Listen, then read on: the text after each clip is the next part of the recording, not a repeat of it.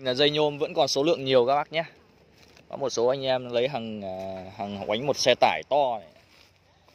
anh em qua lựa hoặc là gọi điện trực tiếp đi, bán sỉ nha anh em. Tức là sẽ cho các anh em về lắp đồi tùng à về về cho thợ quấn dây cây thế. Đấy. Nào anh, làm gì kia vâng anh dơ lên, em chụp cho anh kiểu ảnh như này. Đấy dơ dơ lên nhé. Dơ lên nặng quá đúng không ba chục cân mà. mỗi, mỗi cái bịch này là là là chín cân mấy đấy. đấy anh em nhé đây với một hệ thống cây à, cây thế như này thì các bạn thấy là nếu mà chúng ta không sử dụng dây nhôm quấn mà nó tiêu chuẩn đấy, độ bền cao rồi là độ dẻo tốt thì cái cây nó sẽ không đẹp được. Đấy. Đấy. nhà, nhà vườn à, quấn này. Dây nhôm thì có cỡ là 3, 4, 5, 6, 7 ly khác nhau các anh em nhé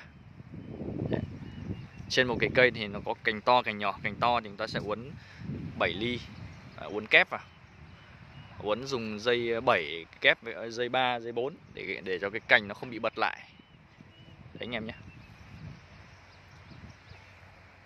đây ví dụ như cái tàn này, này. Đấy, dây nhôm. Anh em nhé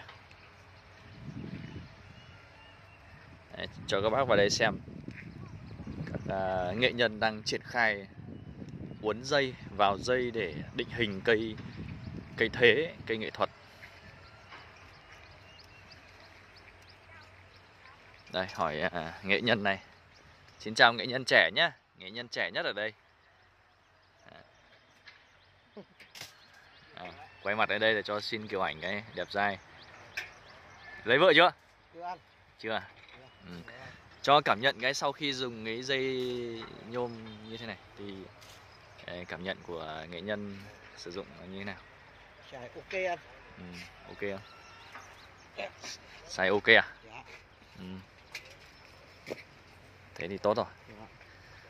Đấy, làm sao để giúp cho các anh em luôn luôn có hàng để triển khai những cây nó đẹp nhất phục vụ cộng đồng về thị trường. Đấy, xin eh, chào các nghệ nhân nhé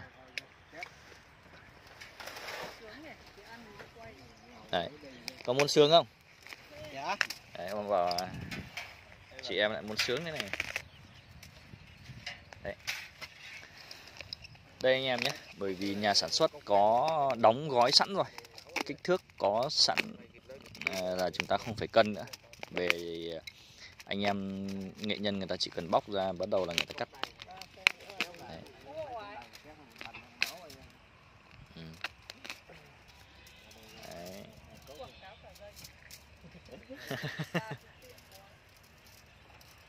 kể đấy, phải quấn nhỏ để anh em khi leo lên dễ thi công quấn nhỏ nhỏ này thế còn đây là mấy cô về chuyên về gọi là hỗ, hỗ trợ về là về quay cô kia. làm bồn làm xe đất. Đấy. Đấy, cô này là khỏe này. Đấy, cô ấy cô vừa- một mình cô ờ, nào cô bê một đất đi. mình cô ấy vừa khỏe vừa ấy. Cô ấy ngẩng mặt lên. Ờ, lấy xem này. Đừng có lên tiktok nha. Ừ. được chưa nào? Cô ấy cầm xe rùa lên quay rồi đấy. Nào đấy sau khi dây nhôm về sẽ được à, thu nhỏ lại như thế này để anh em dễ thi công hơn dễ triển khai uốn hơn. Đây là anh Phương ở Bình Định. anh Phương ở Bình Định này đấy anh à, ra thủ đô công tác. À, xa vợ có nhớ vợ không anh? Đây đây có bốn năm ngày về ở đây ngoài này có vợ rồi gì? Ờ, có vợ rồi. Ờ, thế thì tốt quá. Có, có, vợ vợ đang kéo à cái cô kia gì? Rồi. Đây đây, chỉ nhầm rồi. Ừ thế, là- thế thì có bốn năm cô đây gì nữa. Tóm lại là cũng, ờ, cũng chưa cần về nhà vội nhỉ. Thế nó không bị bí bách nói thật chứ. Một tháng mà không được uh, uh, sử dụng nhà máy nước thì cũng căng phết đấy chứ. Nhà máy nước là phải được sử dụng có kế hoạch. Chứ các bác nào mà khoảng trên 60 à bây giờ là 60 vẫn chiến đấu bình thường Mười còn sung túc lắm, vẫn sung lắm sung mãn lắm. đấy Đây. Đấy, quay một số cảnh này cho các bạn thấy. Đấy, cảm ơn cả nhà nhá, đã theo dõi nhá.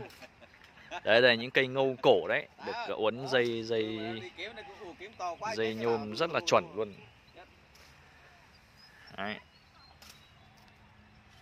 Rồi, xin cảm ơn anh em rất là nhiều.